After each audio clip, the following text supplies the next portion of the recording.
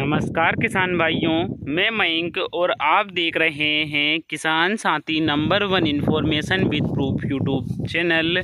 अभी मैं हमारे मानपुरा वाले खेत पर हूँ और जो आपको सोयाबीन देखने को मिल रहा है, ये बीस चौबीस सोयाबीन है। इसकी बुवाई हमने दो जुलाई को की थी और अभी सात अगस्त है। सोयाबीन की बढ़वार देख सकते हैं आप। इसमें हमने हर्बिसाइड, यानी कि शाकनाशी का भी प्रयोग किया था और अभी इसमें हमने कोई भी कीटनाशक नहीं डाला है। और सोयाबीन की क्वालिटी आप देख सकते हैं किस प्रकार है। जिस खेत में हमने कीटनाशक का प्रयोग किया था, उस खेत में हमको इल्लियाँ देखने को मिली है।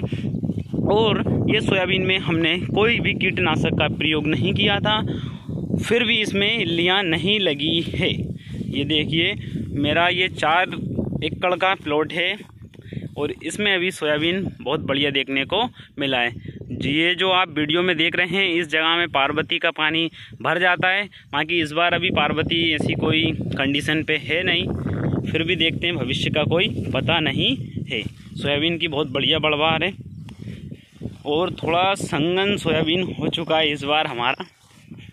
ये देखिए, आप देख सकते हैं, पास से भी बिल्कुल भी पत्ते और जो डंठलें होती हैं, वो नहीं मतलब इल्लियों द्वारा कटी हुई खबी हुई हमको नहीं देखने को मिल रही है।